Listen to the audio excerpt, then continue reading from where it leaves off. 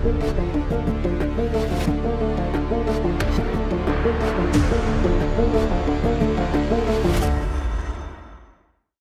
Państwa gościem jest Magdalena Piekart, zastępca dyrektora do spraw medycznych Centrum Zdrowia Psychicznego w Słupsku. Dzień dobry Pani Dyrektor. Dzień dobry.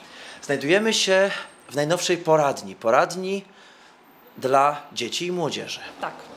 To jest poradnia dla dzieci, które są objęte obowiązkiem szkolnym, czyli od 6 roku życia do zakończenia nauki e, w szkole ponadpodstawowej, czyli nawet takie, takie, taka młodzież, młodzi ludzie, którzy ukończyli 18 rok życia, ale uczą się w szkole średniej lub kontynuują naukę e, w szkole ponadpodstawowej, również są objęci wsparciem i pomocą e, tej poradni. Poradnia psychologiczno-psychoterapeutyczna? Tak, czy jakby bazą y, kadrową są psychologowie, psychoterapeuci, terapeuci środowiskowi. Nie ma w tej poradni, nie jest przewidziany lekarz psychiatra. Dla jakich dzieci, dla jakiej młodzieży jest to miejsce? To jest miejsce dla dzieci z rozpoznaniem zaburzeń psychicznych, czyli konieczne jest postawienie diagnozy y, takiej nozologicznej, psychiatrycznej że, czy psychologicznej, że z dzieckiem dzieje się coś niedobrego, coś co wymaga leczenia psychiatrycznego, psychoterapeutycznego, psychologicznego. I tutaj to leczenie się Tak. będzie odbywać, odbywa już. Tak, to się już odbywa, czyli to nie jest poradnia, w której diagnozujemy nie wiem, trudności w nauce szkolnej, upośledzenie umysłowe czy tego typu historie. To jest stricte terapia. Terapia psychologiczno-psychoterapeutyczna, czyli nie farmakologiczna, ale szeroko pojęte oddziaływania e, różne terapeutyczne, również takie oddziaływania w środowisku, e, w którym dziecko przebywa, czyli będzie to bazowało na współpracy ze szkołą, z rodziną, e, z grupą rówieśniczą, bo też takie działania poradni są przewidziane. Od pewnego czasu, choć właściwie wśród y, y, lekarzy od lat mówi się o tym, że psychiatria dziecięca jest na niskim poziomie dofinansowania, że dzieci z problemami e, e, psychicznymi nie mają się gdzie leczyć, nie ma się kto nimi zająć. To jest to miejsce, w którym będą specjaliści, którzy się takimi pacjentami zajmą. E, Zdecydowanie, dlatego że ta poradnia jakby odpowiada na taką potrzebę dzieci, bo ja od lat tak uważam i od lat tak w środowisku psychiatrów jest takie zdanie, że tak naprawdę oparcie całej opieki psychiatrycznej tylko na lekarzach, psychiatrach jest błędem. Głównie, dziecko do lekarza psychiatry nie powinno trafić jako do pierwszej instancji jakby leczenia, czy do szpitala psychiatrycznego, bo czasami tak jest, że jakby dziecko trafia jako do, do pierwszej do opieki psychiatrycznej poprzez szpital psychiatryczny. To jest błąd, tak nigdy nie powinno się wydarzyć.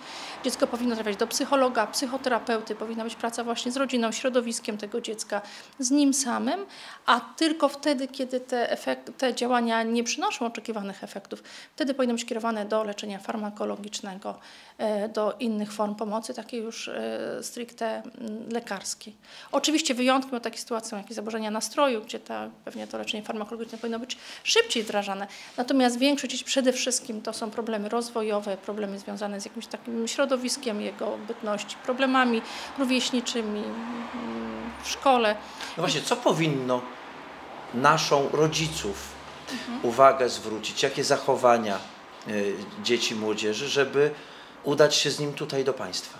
No myślę, że w przypadku dzieci młodszych to przede wszystkim ważny jest kontakt ze szkołą, jak dziecko funkcjonuje w grupie rówieśniczej, e, czy przestrzega reguł w tej szkole, jak jest jego koncentracji uwagi, jak jest ze skupieniem.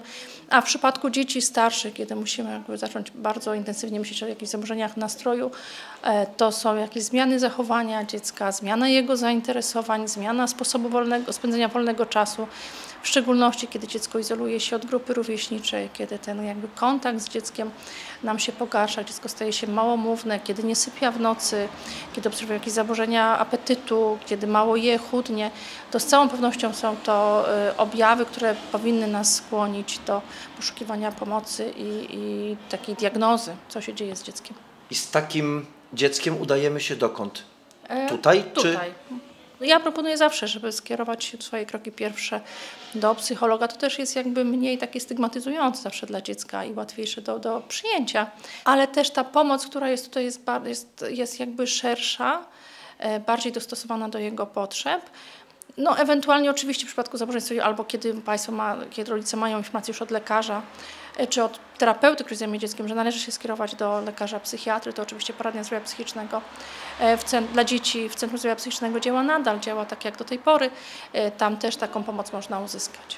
Nie trzeba mieć skierowania od lekarza pierwszego kontaktu, żeby tutaj z dzieckiem przyjść i poprosić o pomoc. Nie, nie. Potrzeba tutaj po prostu przedzwonić na numer telefonu, który jest podany na naszej stronie internetowej, zarejestrować taką pierwszą wizytę, wizytę konsultacyjną. Tutaj wszystko terapeuta, który taki telefon odbiera, poinformuje, co trzeba dopełnić i w jakim terminie się zgłosić. A duże są potrzeby, dużo jest dzieci i młodzieży, którzy, którzy nie radzą sobie ze swoimi, mm, ze swoimi emocjami, ze swoim stanem, w którym się znajdują.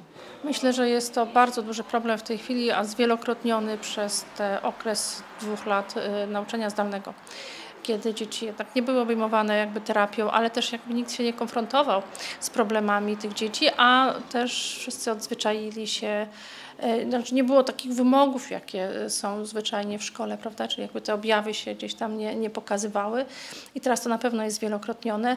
No i jakby nie mamy złudzeń, że ta poradnia jest w stanie zabezpieczyć e, całość potrzeb zdrowotnych tej populacji. Na pewno nie, bo tu pracują w tej chwili cztery osoby, a najbliższa chyba poradnia jest w Gdańsku, czy w Lęborku, przepraszam, w Lęborku jest najbliższa, więc ja myślę, że tutaj jest bardzo duży teren i jakby na pewno nie będziemy w stanie wszystkim pomóc, ale e, postaramy się to zrobić jak największej liczbie dzieci.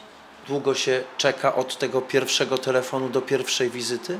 Panie że to są pierwsze dni pracy. Ja nawet nie potrafię powiedzieć na to pytanie, bo w tej chwili pewnie ten okres oczekiwania nie jest taki długi. Natomiast myślę, że on się niestety z czasem będzie wydłużał, e, dlatego że dziecko, które wchodzi do terapii, pozostaje w niej wiele miesięcy, jak nie lat. I to jest bardzo czasochłonne, w związku z czym no, no niestety spodziewamy się, że to wysycenie terapeutów pracą dość szybko nastąpi. Ja myślę, że w tej chwili to jeszcze nie jest taki problem. Ten problem się pojawi e, za, za kilka tygodni, za kilka miesięcy. Bardzo dziękuję za rozmowę. Dziękuję również.